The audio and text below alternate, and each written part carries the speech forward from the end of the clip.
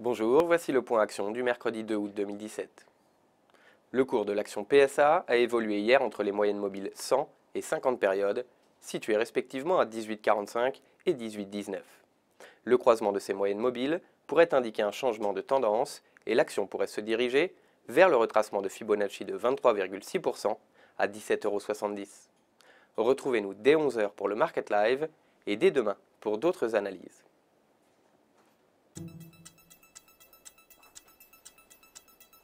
Thank you.